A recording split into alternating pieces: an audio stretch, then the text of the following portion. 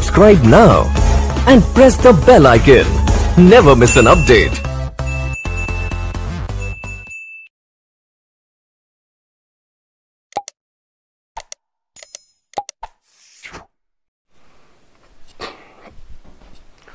Assalamu alaikum students students today we will be doing the section formula as we have completed the distance formula section formula what it means section formula means we are given a line segment in which a point divides it in some ratio.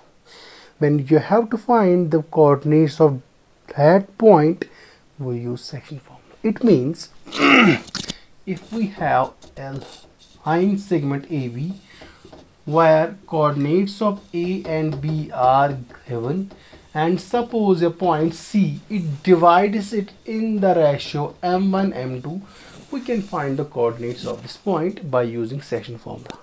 It means section formula helps us to find the coordinates of a point which is on a line segment where it has divided this in some ratio. It means the two things we must know and the one thing we can find.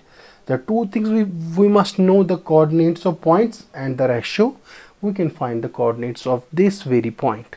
Section formula here gives us coordinates of the point c. It is m1 x2 i will tell you the simple way to learn plus m2 x1 it is its x coordinate divided by m1 plus m2 Similarly, m1 y2 plus m2 y1 divided by m1 plus m2. These are the coordinates of C which has divided the line segment in the ratio m1 m2. It means this formula helps us to find the coordinates of a point which is on a line segment and it divides in some ratio. Huh, here are the question Find the coordinates of the point which divides the join of AB minus 1 7 and 4 minus 3 which divides in the ratio 2 is to 3 2 is to 3 it means here m1 is 2 m2 is 3 it is x1 it is y1 it's x2 it's y2 here we can use by section formula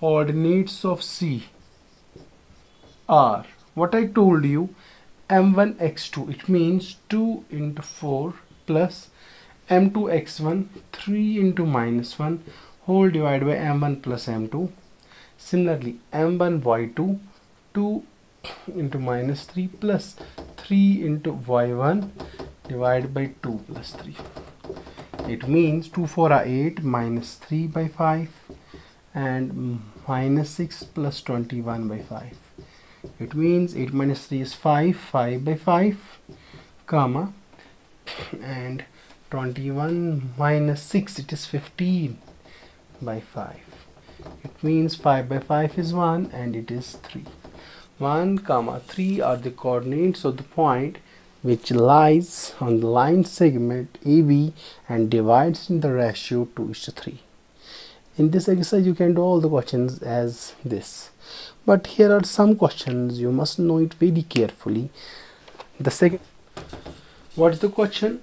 Find the coordinates of points of trisection. Trisection means a line segment has been divided into three parts. No, three equal parts trisection it doesn't mean three parts it means three equal parts and we have to find it coordinates of these two points a b.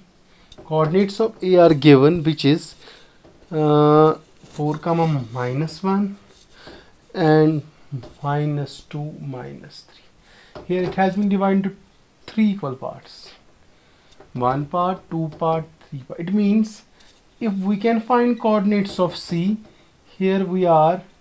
1 is to 2 ratio and if you have to find coordinates of D 1 2 it means the ratio is 2 comma 1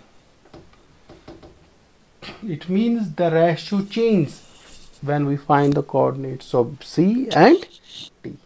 If we can find coordinates of C equal to when what I said m1 I will write here x1 y1 x2 y2 m1 x2 it means 1 into minus 2 plus 2 into 4 divided by 1 plus 2 similarly m1 y2 1 into minus 3 plus 2 into minus 1 divided by 1 plus 2 means minus 2 plus 8 by 3 minus 3 minus 2 by 3 which are 6 by 3 comma minus 5 by 3 it means 2 comma minus 5 by 3 are the coordinates of the point C. Similarly you can find coordinates of D but provided the ratio will be 2 is to 1 and uh, almost we have completed the half of exercise of this chapter. And inshallah tomorrow we will complete this section formula. And after that we have only area of triangle. If you have any problems, you can ask me in the comments. And thanks for the lesson.